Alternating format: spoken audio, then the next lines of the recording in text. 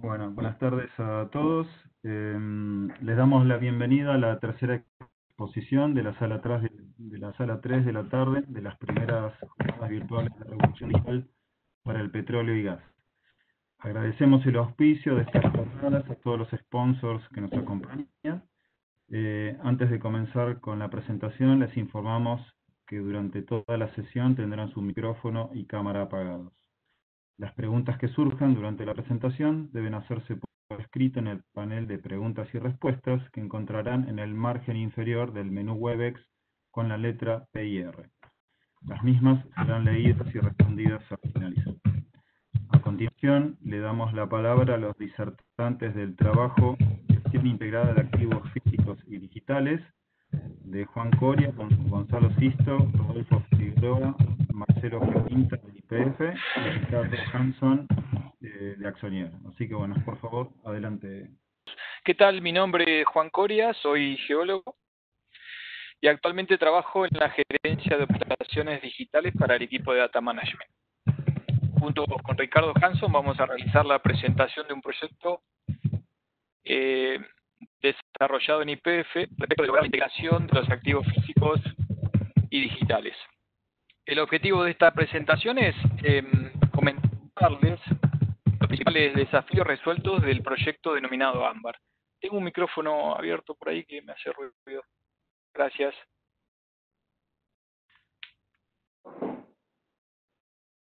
Bueno, eh, les cuento que mm, IPF posee una veintena de archivos físicos conteniendo más de medio millón de documentos, de elementos distribuidos en las distintas operaciones del país y un gestor documental con más de 2 millones de, documentos digitales. Respecto de los archivos físicos, no existía una solución integrada y centralizada para gestionarlos en conjunto, mientras que la información digital, documental,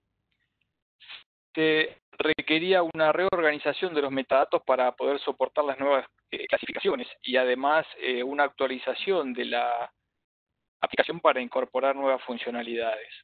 Es así Así que con este contexto, y muy en general se los comento, se trató de una iniciativa que comprendió integrar los ambientes físicos y digitales, eh, remodelar por un lado la metadata y luego implementar la nueva herramienta. Obvio, posteriormente a eso tuvimos que migrar y controlar datos, todos sin dejar de cargar eh, la información que seguía ingresando del negocio y por supuesto no cortar nunca la búsqueda de información por parte de los usuarios. Eh, a nosotros, bueno, en este momento nos toca presentar el proyecto, pero quiero que sepan que, también participó gran parte de lo que es operaciones digitales Upstream, la gerencia de sistema, por supuesto, y los usuarios del Upstream también. Entonces, introduciéndonos y hablamos un poco de gestión documental técnica, tenemos que saber que nos encontramos con información eh, que en este caso el desafío fue manejar este tipo de información ya que tiene un alto contenido histórico para el negocio. La gestión documental IPF ha tenido varias etapas, desde la gestión documental eh, en hace dos décadas por lo menos teníamos relativamente poca información referida a algunas cuencas, luego el auge de la digitalización, hizo incrementar ese volumen, llegando a tener actualmente más de 2 millones de, documentos. Y aparte estamos hablando de información técnica validada, información específica de, todas las etapas y disciplinas de, exploración y desarrollo. Eh, tenemos desde documentos de puño y letra hasta pasando por informes, legajos de pozo, tenemos estudios técnicos, todo lo que se refiere a registros de pozo, los reportes históricos y además documentos claves que tienen alto valor. ¿no? La gestión documental, como ven, eh, fue en, constante crecimiento. Para tener una idea, el promedio, teníamos promedio de casi mil pozos eh, anuales que hacían crecer no solo en, datos y en documentos, sino que también, además, eh, hizo un, crecimiento de usuarios que, además de todo esto eh, eh, fueron incorporando información procesada también. Ese aumento llevó a incorporar estándares de trabajo, estándares que aseguraban eh, la entrega de información por parte de las contratistas, por parte de la operación y los equipos de trabajo. Y de esa manera se instalaron, se establecieron los diferentes roles y flujos de trabajo. Por otro lado, ese aumento de usuarios eh, trajo aparejado la mayor explotación de la información. Y entonces ahí es donde nosotros comenzamos a ver la necesidad de eh, cambiar de tecnología, ya que estábamos viendo que en el mercado eh, la gente buscaba más rápida, en forma específica, ¿no? La nube, etcétera. Entonces eso nos llevó a actualizar el ambiente tecnológico. Por otro lado, nos encontramos con la información física. La información física también con un alto valor, eh, digamos, para el negocio y la operación. La gestión de archivos físicos dentro de IPF abarca más de millón y medio de elementos físicos, en un abanico de, más de 50 tipos de documentación. Contamos con legajos, con planos, con planimetrías, con, con, informes y por supuesto en diferentes medios, ¿no? Medios papel, acá ven también algún medio como la cinta, ¿no? Cartridge, etcétera. Y no solo eso, sino que también las muestras físicas, como de coronas, eh, las muestras de cutting, los testigos rotados, por ejemplo, existen cortes delgados también, y muestras de fluido. Y sobre todo, también manejamos lo que es información de cumplimiento legal. Para que tengan una idea, llegamos a tener eh, ingresos promedios eh, mensuales de 1.800 elementos y también prestamos casi 3.000 elementos mensualmente. Todos los años, la actividad de pozo hace que se genere mucha información física que, es utilizada para tanto consultar como para reprocesarla, enviar a laboratorios, hacer análisis, etcétera, ¿no? Al igual que la información digital eh, está enmarcada en, procesos que aseguren la calidad y entrega de la información. Y este aumento, como les decía, trajo aparejado también el aumento de usuarios que saben que existe la información física y que quieren acceder a ella. Entonces, bueno, eh, esa necesidad hizo que también eh, vayamos a la actualización del ambiente tecnológico. Además de todo esto, nosotros contamos con que eh, la información dentro de lo que es IPF, la información física, no solo se encuentra centralizada, acá pueden ver una foto del archivo central y pueden ver la dimensión, esto es una cancha de fútbol, no solo se encuentra centralizada, sino que también se encuentra distribuida a lo largo de todo el país, en 18 archivos técnicos. Así que el proyecto AMBAR de alguna manera nos dijo que con este contexto eh, había que llegar a una, conclusión de que actualmente no se puede pensar una herramienta para la gestión de información física independiente de la digital. Entonces, bueno, es allí donde eh, nos propusimos tener un único punto de acceso a los datos un entorno organizado donde los datos estén fácilmente disponibles, un, entorno donde haya búsquedas complejas, eh, simultáneas, que haya reglas de control de calidad, eh, un, un, entorno que sea flexible también y personalizable para el usuario, por ejemplo. O sea, soñar en grande, ¿no? Con datos actualizados automáticamente, tener eh, niveles de seguridad niveles de permiso, de acceso, como la flexibilidad para gestionar tantos grupos y usuarios como sea necesario. Es así que, bueno, nos basamos, digamos, en, dos o tres pilares fundamentales. Uno fue la reingeniería de lo que es los, son los metadatos y luego la integración mediante un catálogo para integrar toda la información.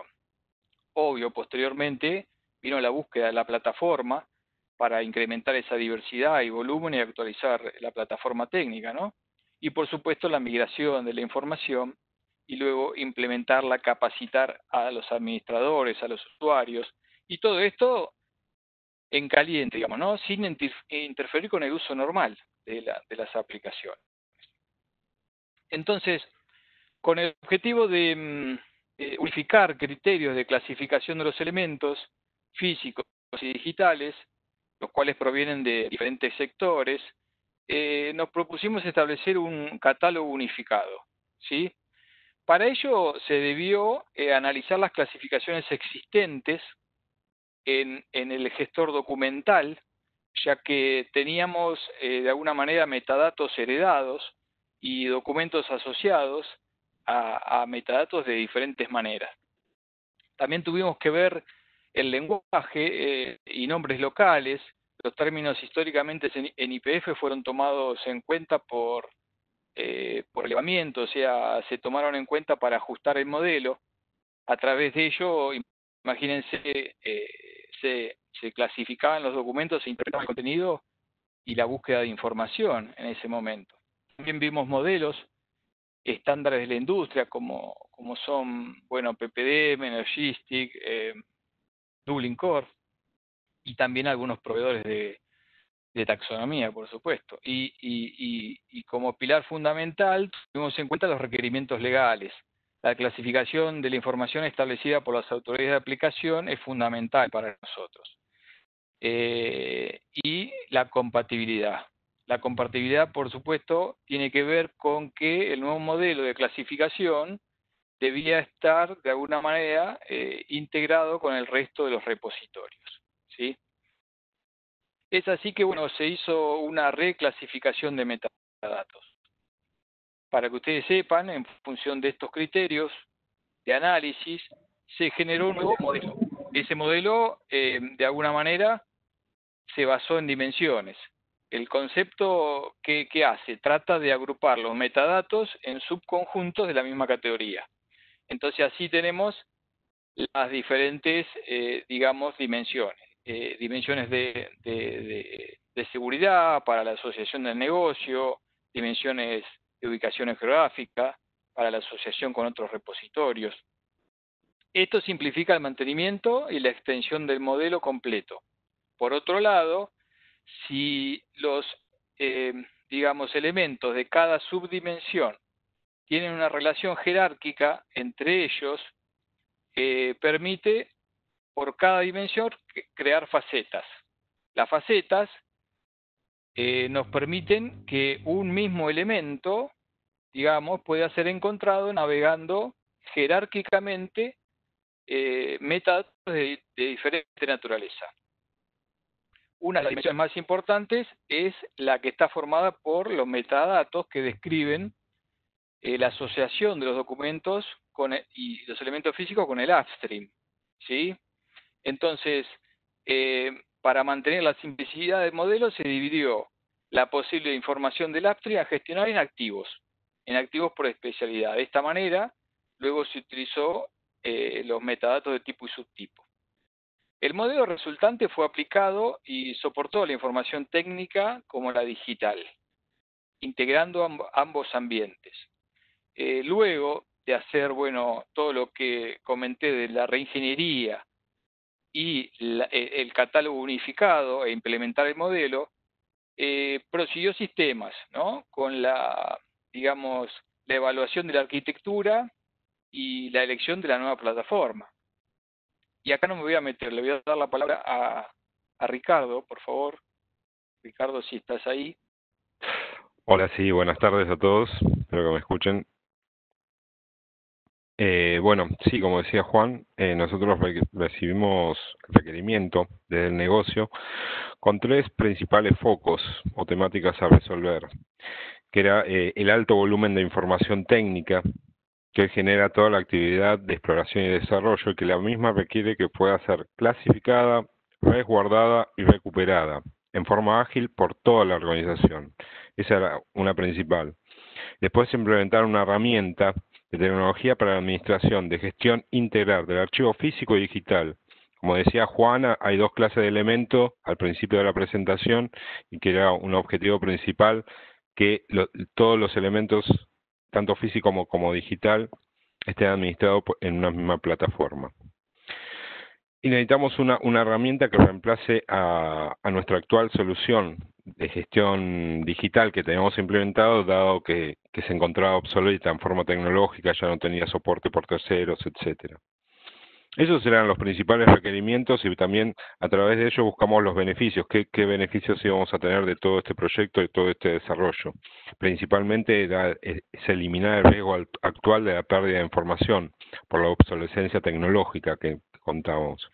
Eh, también asegurar la custodia, el resguardo y gestión documental de, técnica, de documentación técnica de subsuelo y muestras geológicas para atender los requerimientos de, IPF, de otras empresas y el cumplimiento legal que tenemos que presentar ante, autoridades de aplicación. Eh, toda esta información también se debía poner eh, a disponibilidad la información técnica eh, validada para aumentar el nivel de certidumbre en, los proyectos de exploración y desarrollo y que la toma de decisión del negocio sea correcta a través de esa documentación. La integración de toda esta información técnica validada en un ambiente único y facilitar las consultas de acceso a través de la misma a toda la compañía. Esos eran los principales beneficios que buscamos con este proyecto a desarrollar. Eh, nosotros desde, el sistema hicimos la, mm, para, proceder a esta, a esta búsqueda, eh, procedimos con una licitación eh, en donde eh, los licitantes deberían ser líderes de, la industria, se, deberían enfocar tanto en la implementación como en el producto que ofrecían, deberían ser líderes en la industria, debían contar con experiencias en, en, otras compañías de primer nivel y era, era fundamental que el producto o la solución sea 100% compatible con la nube dado que la estrategia actual de IPF es, llevar todo, todo a ese ambiente. Bueno, en esa licitación, en ese proceso licitatorio, evaluamos más de un producto. Cada uno pudo presentar sus soluciones con distintas pruebas.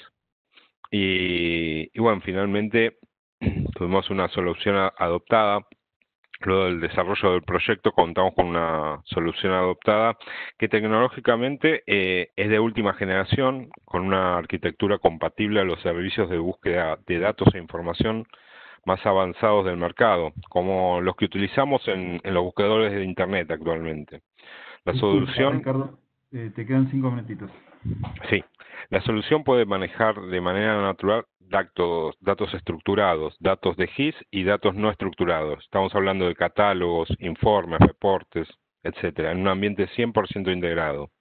Con respecto a la seguridad, implementamos todos los niveles de seguridad eh, utilizados eh, en, IPF y que también que sea bastante granular para el, para el cliente. Esto la solución permite definir permisos para compañía, grupo de trabajo, eh, localización de oficinas, usuarios, proyectos, en fin. Y el funcionamiento la nueva herramienta de gestión funciona de manera automática, contando con crawler que indexan todo el contenido de los documentos, ¿no? de aplicaciones externas, o sea, de los documentos que vienen de afuera, amarrando todos los datos a catálogos y topologías de GIS del sistema, así como las taxonomías predefinidas. También cuenta con la capacidad de realizar etiquetado alfanumérico, geográfico, eh, etcétera. En resumen, logramos en este proyecto ventajas sobre las soluciones tradicionales. AMBAR logró ser optimizada para manejar grandes volúmenes de datos y archivos. Alta escalabilidad y estabilidad de cara a la integración y el crecimiento que proyectamos, debido a que eh, corre en un ambiente de nube 100%. Hemos implementado una herramienta moderna con los últimos estándares mundiales y que son líderes en la industria fácilmente integrables con, otras tecnologías, facilitando el control de flujo información. Redefinimos todo el modelo de metadatos. Esto se hizo en una ingeniería a medida que fue, fue, fue transcurriendo el tiempo del proyecto y la migración, acorde a la nueva herramienta que habíamos implementando. Eh, gestión y explotación simultánea de información digital y física pudimos lograr con esto y mejores políticas de acceso y auditoría, dado que tenemos otras herramientas, dashboard, etcétera.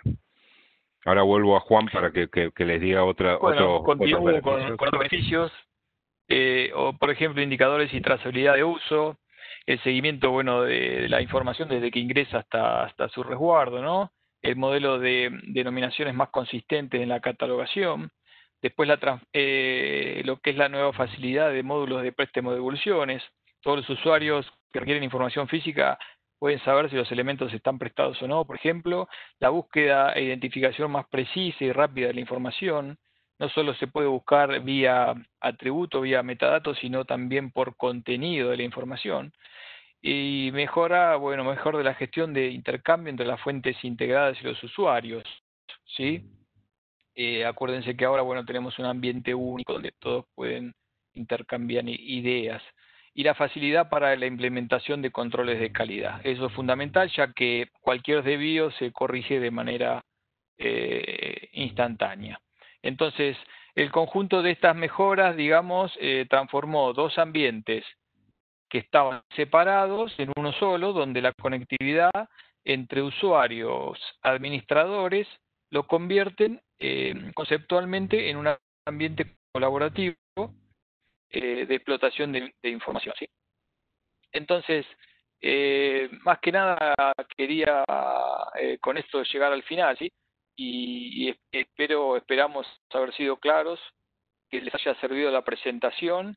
Y, por último, una cosita más, agradecer a, al IAPG por, por este espacio, a Rodolfo Figueroa, bueno, por el armado de todo lo que es la presentación, el aporte de Marcelo Yaquinta en sistema y Gonzalo Sisto como referente de archivos físicos, a todos los gestores y administradores de la herramienta, bueno, que en este momento seguramente está trabajando, a la gerencia de operaciones digitales Upstream por, por del proyecto y a los usuarios Upstream.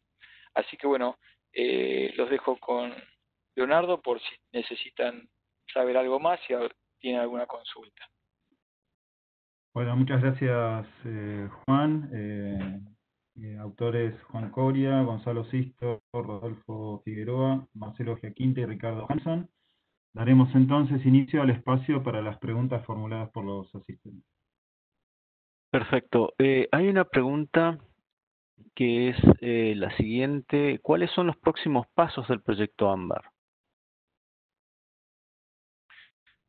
Bueno, en este, en este caso bueno, lo voy a contestar yo, no sé si me escuchan bien los próximos pasos del proyecto AMBAR eh, es, seguir implementando todo lo que tiene que ver con eh, la incorporación del resto de información técnica de la compañía. Estamos, bueno, incorporando nuevos activos de información, como, bueno, pueden ser reserva, medio ambiente, eh, la parte también de, de producción. Y así ir sumando activos. Perfecto. Otra pregunta que es cuál es la proyección de crecimientos de datos ¿no? que tiene la compañía eh, y si esto fue una de las razones con la cual se dimensionó la solución de acuerdo a estos requerimientos. Eh, no sé si la contesto yo o Rodo, ¿querés contestar esa, esa consulta? Sí, hola. Sí, Rodo, te Sí, perfecto. Sí, en realidad eh, toda, este, toda esta información técnica está muy relacionada con, con actividad y los tipos de estudios que se realizan. Eh, por eso se, se, contempló una herramienta que no tenía no tiene límite, digamos, en, ni problemas con el crecimiento en volumen y de esa manera también, por eso es tan importante también el catálogo que se hizo porque se modeló para poder incorporar a necesidad distintos tipos o entidades de información de IAMP. No tenemos un número definido, se tiene un promedio generalmente de información, como dijo Juan, que ingresa por, por una estadística está muy relacionado con la cantidad de actividad de, la empresa, digamos, ¿no? Perfecto. Eh, a otra pregunta hace referencia a cuánto tiempo llevó el proyecto completo. Ricardo, vos sos el que Sí, el proyecto completo llevó aproximadamente casi un año y medio, casi dos años, casi dos años. Okay, entre, entre eh, tengan en cuenta que empezamos cuando éramos muy jovencitos en el ambiente cloud y esta era una, una, una aplicación que iba, que iba a estar implementada en 100% cloud y fue aproximadamente dos años con donde, donde desarrollamos toda la parte de implementación, migración, capacitación de, de la nueva herramienta. Perfecto. Eh, bueno, hay otra pregunta, pero la acabas de eh, contestar, que es, bueno, si la herramienta corre en web desde cualquier lugar. Bueno, sí, evidentemente ya la, la contestas. Sí, es, es, no, no, tiene un cliente específico, sino es una aplicación web, es de acceso web y, y puede. Por el momento no tenemos eh, acceso externo, pero sí tenemos acceso web dentro de la compañía. Ok, perfecto. Eh, otra pregunta se referencia a cuál es el proveedor de nube que se está que está utilizando. Eh, no sé si podríamos decirlo, lo, las marcas, no sé, Rodolfo, los, los fabricantes, pero es la nube de la ventanita. eh, suficientemente claro. propia. Okay. Claro, dentro dentro de dentro de ese proveedor nosotros tenemos un, una una nube propia. Perfecto. A ver, eh, ¿hay información de dominio público también resguardada en este sistema? Juan. Hay información de, sí, de dominio público resguardada en este sistema, pero no es, no es de acceso público. Perfecto. Bien, muy bien, buenísimo. Eh, a ver si queda alguna otra pregunta. No, no queda ninguna otra pregunta. Estamos justo en tiempo. Bueno, Ricardo, Juan, muchísimas gracias. Pablo, bueno, muchas gracias a ustedes. ¿eh? Gracias. Hasta luego.